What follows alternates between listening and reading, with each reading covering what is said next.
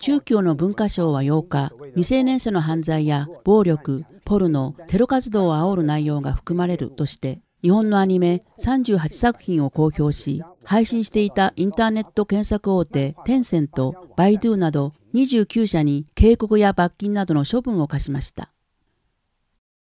文化省が公表したのは、進撃の巨人、デスノート、残響のテロル、学園目視録など38作品、これらの作品を配信したとして、ICE、送風、ユーク、テンセントなど29社が警告と罰金を課せられたほか、漫画党など動画配信サイト8社が閉鎖されました。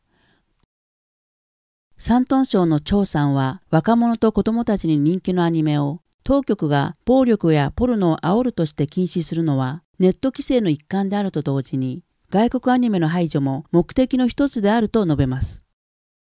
那肯定是怕他们借着在国内的一些游戏方面的对青少年的影响，其实并不是说色情和暴力，他这种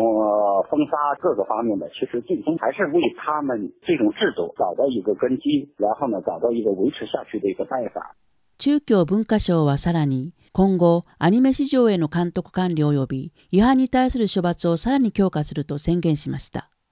違反を繰り返す企業に対しては営業許可を取り消すなどの処罰を与えるとのことです。中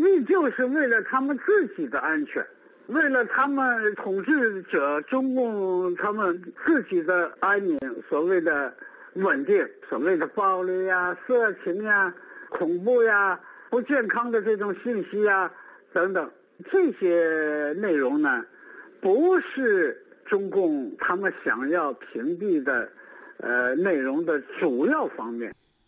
張さんは独裁国家は自信がないため暴力や虚言をもって真相が知れ渡ることを阻止すると指摘します。さらには小さい時から虚言を注ぎ込み洗脳教育を行いネットの封鎖書き込みの削除などの手段で人々の目と耳を塞ぐといいます。新東人テレビがお伝えしました。